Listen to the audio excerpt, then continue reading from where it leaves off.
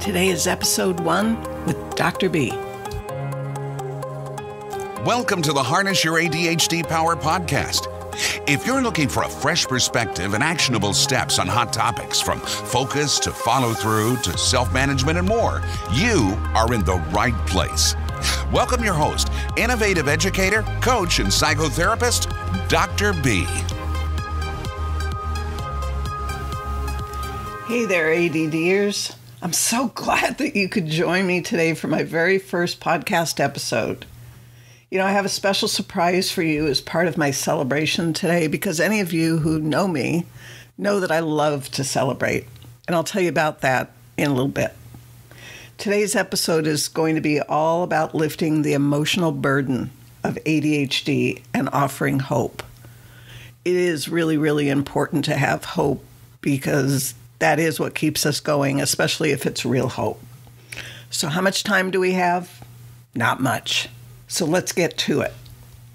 ADHD is probably one of the most researched yet least understood conditions of our time. Go figure. As a mental health professional with over 30 years in the field, what I've seen happen to the criteria, the diagnostics, and the treatment over time makes me really, really sad. I firmly believe that no one, no one should be left behind who wants a better life, especially when they're actively looking for help. You know, we're all in this thing together, this thing called life. You can call me old fashioned, now don't laugh. But having grown up watching Little House on the Prairie, you know, it didn't matter whose barn burned down. The community came together and they raised a new barn. No one was left behind. I've always admired that way of thinking. It's community thinking. So whether you're newly diagnosed, whether you've known for years or whether you self identify with ADD symptoms, there's going to be something here for you when you keep coming back. And just so you know, I'm a work in progress, just like you. I've learned a lot about how to make the most of my gifts and to quiet my challenges, and I know that you can learn how to do that too. You know, if you're carrying around the belief that you're terminally unique, and that a better life just isn't going to happen for you because, after all, look at all the evidence. Look at all the evidence of your bad decisions or failures or half finished tasks or your to do list. That list that has stuff on it from years ago that didn't even get started. Forget it. You are not what you do or don't do. You are more than that. You, me, we are not defective or less than people we're human beings and we're just wired differently. And that difference is actually pretty cool once you have a different perspective and the tools that you need for your own success.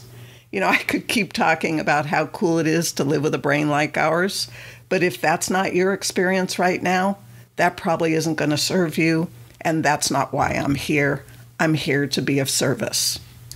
And just so you know what to expect, Every episode will have no more than three important points relevant stories, an action step for you to take, a favorite quote of mine. And starting in May, I'm going to be bringing guests to share their expertise with you along with my own. You know, I'm hoping that you're really as excited as I am. In this episode, I'm going to be taking a look at why it can be so difficult to have ADHD as an adult in today's world and why that is not your fault. And that doesn't mean that you're off the hook either, so listen up. The three points that I'm going to cover today is why many adults get missed as kids and then get diagnosed later in life, why trying to explain ADHD to others can be so difficult or confusing, and why being a high achiever just can't happen with low level of self-care. But first, I want to give you a gift. That's right, I want to give you a gift because remember I told you that I'm celebrating today? And I love to celebrate a lot big stuff, little stuff, all the wins, everything, every single day. And today I'm celebrating the launch of my podcast show. So, my gift to you is to help you to see the wins in your life the big ones, the little ones, the things that you overlook, things that you think are no big deal and you don't celebrate, and how acknowledging and celebrating them can change your life. You heard me, can change your life. So let's start with your first win. You know, it's something that's already taken place and something that you overlooked as no big deal, You didn't celebrate. So, what I want you to do is just take a moment and slow down your mind. That's right. Perhaps take a deep, relaxing breath and just pause for a moment. And I want you to take a moment and think about what that was. Did somebody pay you a compliment? Maybe you found some money. Maybe you actually followed through on something important and you finished it up. Or maybe it's something more basic like did you get out of bed? Did you get cleaned up? Did you feed yourself? You know, all those things are wins in my book and deserve to be acknowledged and celebrated. So I want you to take a moment now and to give yourself a pat on the back or at least acknowledge the win and understand that it's a good thing. It's a positive thing because let's face it, if you don't celebrate the stuff that you need to do as well as the special stuff, how the heck are you ever going to get motivated or stay motivated to keep doing the stuff that you need to do? I wouldn't, and I doubt that you would either. And if you only celebrate when something's huge, that could mean that you're waiting a very, very long time in between celebrations. And that would be really sad. Life, to me, is for celebrating every single day. At least that's how I'm living my life now. There is at least one thing every single day that happens to each one of us that's a win. And you, just like me, can learn to see it that way and you can celebrate it too. A while back, I created a mini course called The Magical Power of Wins. The course is based on the practice of sharing and celebrating wins at the beginning of every weekly meetup group that I facilitated since 2013. You know, the cumulative effect of this practice has been absolutely amazing, and I want you to have some of that same experience. The course normally sells for $27. However, as my gift to you today, you, my first listeners, I want you to have access to this course. That's right. It's my gift to you today for showing up to listen to my very first episode and leaving a thoughtful review or comment. Why? Because I really appreciate that you're going to do that. I want to be the best that I can be for you, and your feedback means the world to me. Or if I were to grab a line from the movie Jerry Maguire, help me to help you. Seriously, after you post your review, head over to my website for a copy of today's show notes and for your free gift. And thanks so much for celebrating with me today. This podcast is sponsored by Pure Potential with Dr. B. You can head over to drbarbaracohen.com and find the podcast show notes, great free content from Dr. B, plus programs and services. That's drbarbaracohen.com.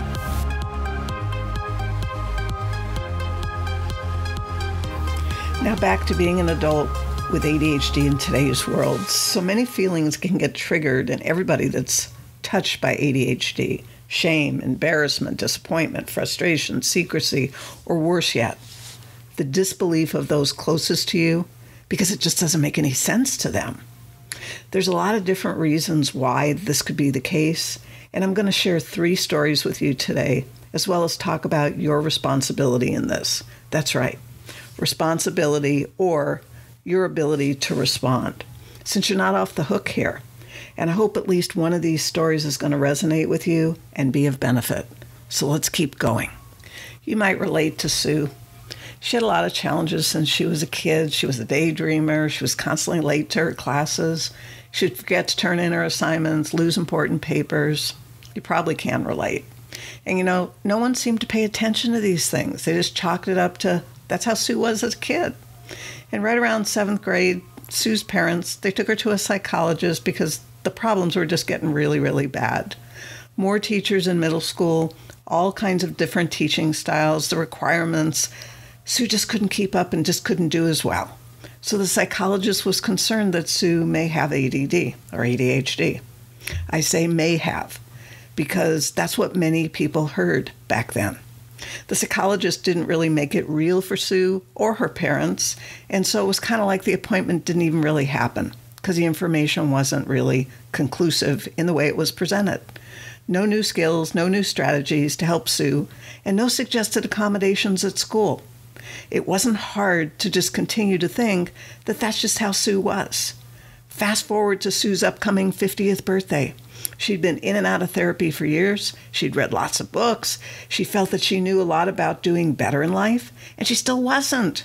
Her depression, anxiety, they were better, but she still couldn't shake the feeling that there was something that was missing, something that would raise her self esteem, and something that would help her create a more successful life because it still wasn't happening. She was still having problems getting started with tasks and actually finishing what she started. She was still waiting until the last minute to get things done, whether she was at home or work. And the day to day necessities of life, she felt they were boring. And she was far more interested in things that were fun and easy for her. She loved art, she loved music, she loved poetry. She did not love paying bills or completing the paperwork that she received in the mail. In fact, sometimes she wouldn't even open up her mail for weeks at a time, months, and ended up being delinquent on bills even when she had the money to pay them. Are you relating to Sue's story? So one day after lunch, over lunch, a close friend showed her a couple of books that she was reading that were helping her a lot Driven to Distractions and Women with Attention Deficit Disorder. Her friend felt that both of the books described Sue too.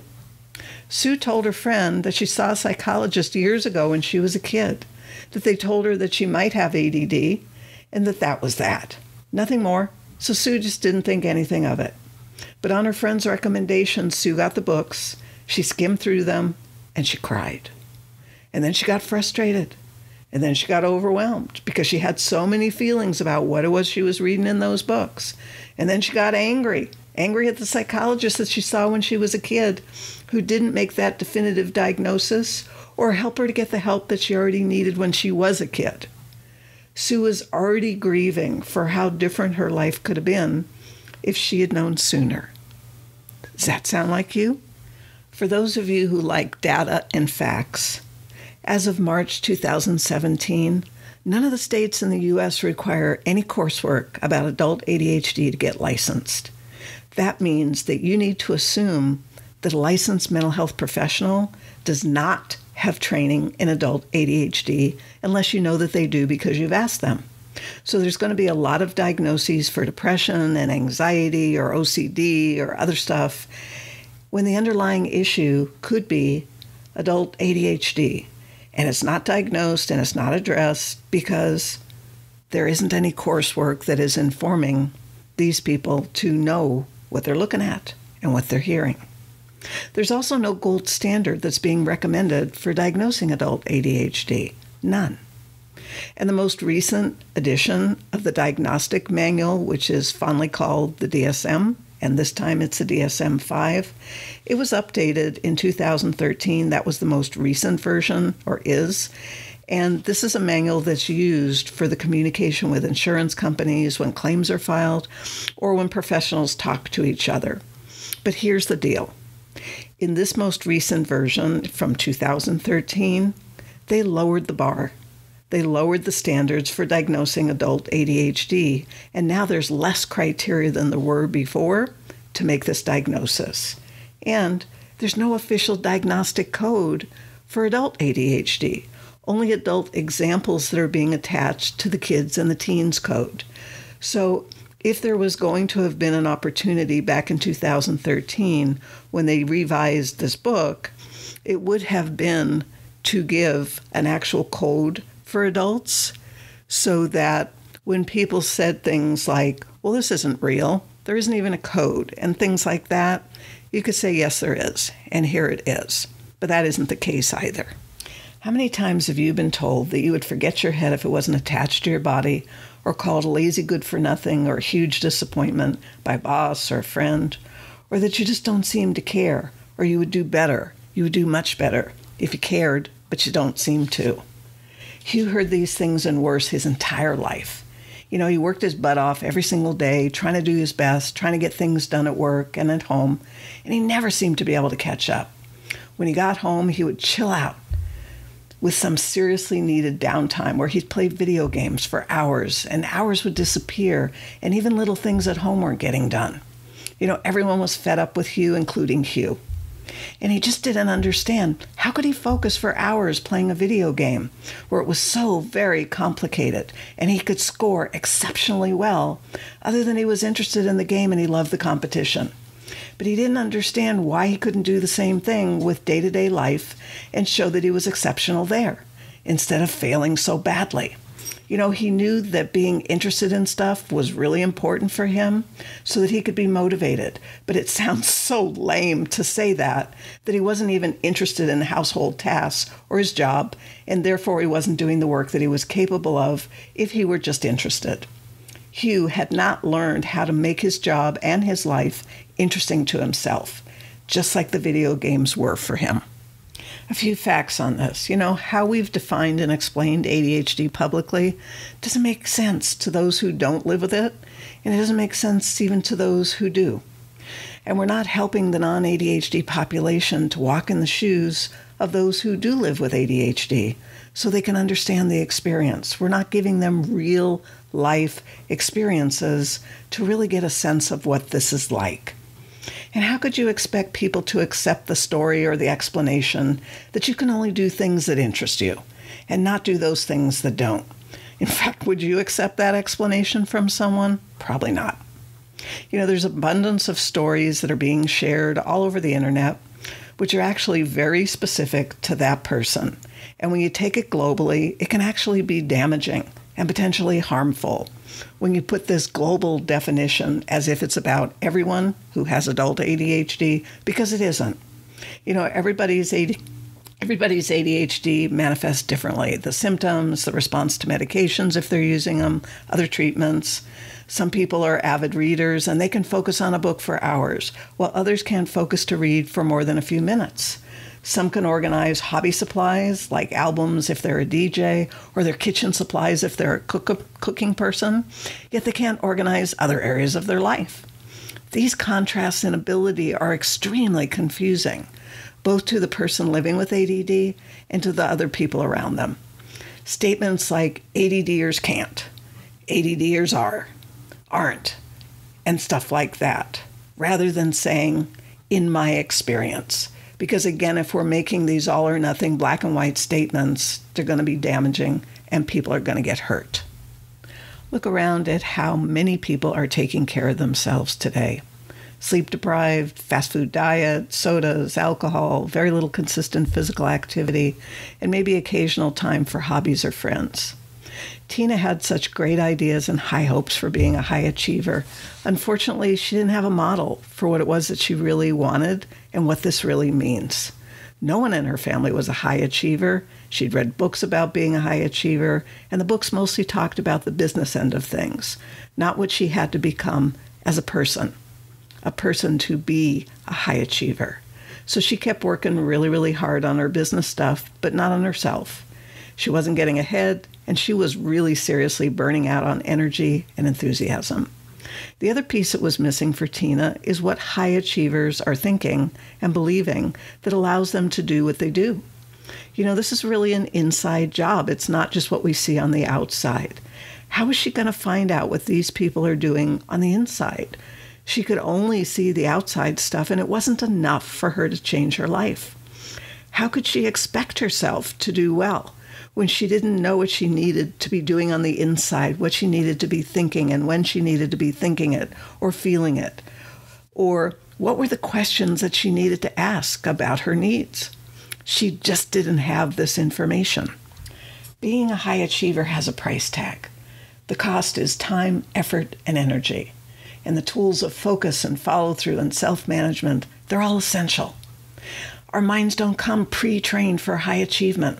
They have to be shaped, they have to be conditioned, they have to go through training in order to become this and be able to produce this for us. It takes great ingredients to produce great results. Poor ingredients just can't get you the great results that you might want. And there's many people that would say that they want a better life, but most aren't willing to do what it takes to have the better life that they want. They aren't willing to invest in themselves and pay that price tag, that price ticket of what that life cost. You know, we have to have a certain mindset that's open and willing to make whatever the changes are that are going to be necessary for us to have what it is that we say that we want. And if we don't develop that particular mindset where we're open and we're willing, then it's just not going to happen. How could it? So here's my action step for you today. It's your responsibility to get the information and the training that you need. In other words, it's your ability to respond to your needs and to meet them. You do have the ability to respond. It may not be the way that you want to respond, and it may not be what you like right now, and you do have the ability to make a response. And it's going to be the best response that you are able to make now what it takes for you to excel and thrive is going to be different from what it is for other people. Even if other people are also the people you're comparing yourself to who also have adult ADD. And what do you understand about your own basic requirements that are essential for you to live well and for you to do well? What about your sleep? What about physical activity, nutrition, hydration, downtime, structure, accountability, rituals, rules, on and on. I could go with this. What do you really know about yourself and what it is that is required for you to be and live as the person you want to be? And then we can get to focus. What do you know currently that you can focus on for any length of time, hours, and follow through? What do you know that you can follow through on without any reminders, any prodding, any pushing, any threats? What is that? And self management. What areas of your life do you already manage well? Because there are some, even if you don't think those are the ones that we should be talking about right now or the ones that are important to the rest of the world. There are areas of your life that you do manage well now, and you need to know what they are. Because once you know what you can focus on and why you can focus on it more easily than other stuff, you can use this information to help you to focus on the less easy stuff. And once you know what it is that you can follow through on without being pushed, without being threatened, and why this is so, you can use this information to help you to follow through on other stuff. And once you know what allows you to manage one area of your life really well, you can also use that information and that knowledge to help you to troubleshoot the difficult ones. So, these pieces of information on focus and follow through and self management, you need to have the information of what you're already doing well, regardless of it's the most important areas of your life. That's not what I'm talking about.